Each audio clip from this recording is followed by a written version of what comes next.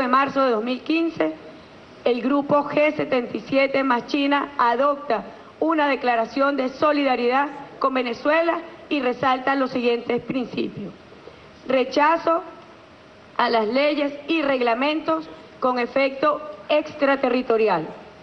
Rechazo a medidas económicas unilaterales y coercitivas. Respeto a la soberanía de los Estados. Respeto a la integridad territorial de los Estados. Respeto a la independencia política de los Estados. Respeto a los principios y propósitos de la Carta de las Naciones Unidas. Respeto y apego al derecho internacional. Promueve las relaciones de amistad, solidaridad y cooperación entre los países diálogo político y entendimiento entre las naciones como solución pacífica a las diferencias y a las controversias. Ayer, como ustedes bien saben, la Comunidad de Estados Latinoamericanos y Caribeños, CELAC, recién acabo de leer esa declaración, adopta una declaración en respaldo a Venezuela en los siguientes términos.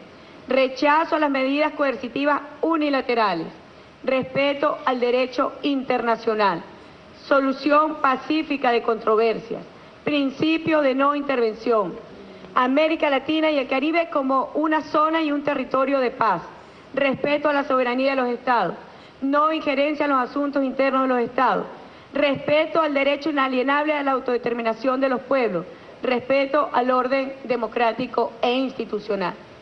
Este resumen de las organizaciones internacionales que han manifestado no solamente su apoyo a Venezuela, sino que consideran absolutamente violatoria a este decreto ejecutivo del presidente Barack Hussein Obama, violatoria del derecho internacional, violatorio de los principios y propósitos de la Carta de las Naciones Unidas y violatorio del buen comportamiento entre los estados basado en la amistad y cooperación entre las naciones.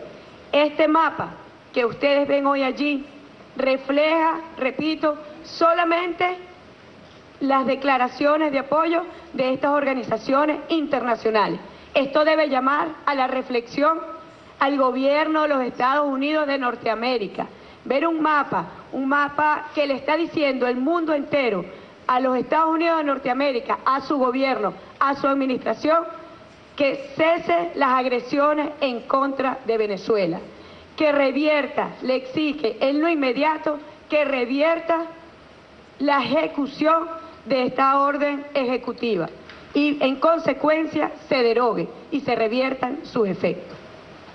En tal sentido, como informé al inicio de esta rueda de prensa, en este momento estamos entregando en la Embajada de los Estados Unidos de Norteamérica en Caracas una nota de enérgica protesta en razón de esta orden ejecutiva del presidente Barack Hussein Obama el día 9 de marzo de 2015. Con mucho gusto contestaremos las preguntas que tengan a bien formular. Iniciamos la rueda de preguntas con Liz Flores, Benevisión.